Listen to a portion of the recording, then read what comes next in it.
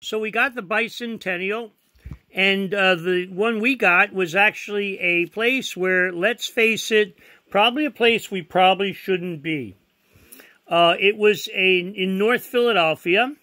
We're talking 1976, kind of a different period of time as now.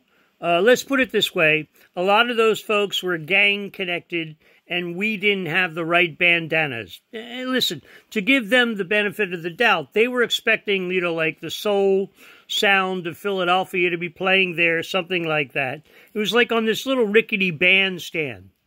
So they certainly were not expecting an improv theater troupe, that is for sure.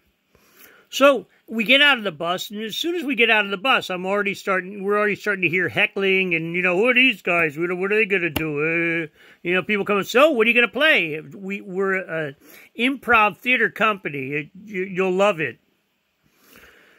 So I turn to Joe Burns. Joe Burns is uh, a little bit more street streetwise than the rest of the group. I'm pretty much as streetwise as Joe is, and says, "Okay, we got to get these guys at the very first minute."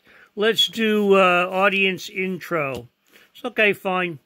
So we get out our hoodies. Hey, look up uh, Rocky. Google it. Anyway, so we get on our hoodies and we go to the very back of the audience as the show starts. Ladies and gentlemen, welcome to Second Sight Theater Lab. We're going to entertain you for the next 45 minutes. All we need to start off the show is one thing to get us start off. One word suggestion. Nothing. One word, one word suggestion, please. All we're getting is like, you know, people grumbling and stuff like that. You can hear the grumbling going on in the back.